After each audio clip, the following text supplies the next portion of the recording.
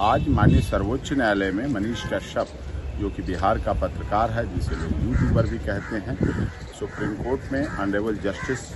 कृष्ण मुरारी और honourable justice Sanjay Karol साहब के यहाँ सुनवाई के लिए था, लेकिन लंच से पहले तक नंबर नहीं आ पाया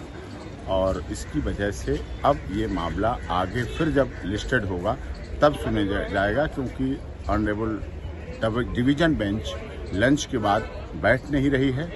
इसलिए अब इस मनीष कश्यप के मामले की सुनवाई, जिसमें हमने सारे केस क्लब करने की एंटरिम बेल की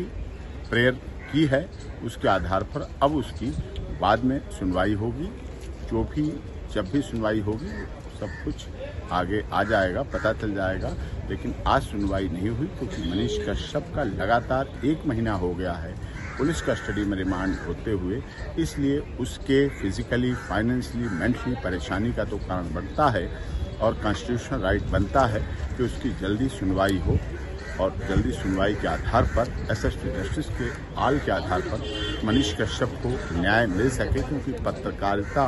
का गला घोटना बोलने की आज़ादी न्याय के खिलाफ है और गलत है, कानूनी आधार पर गलत है।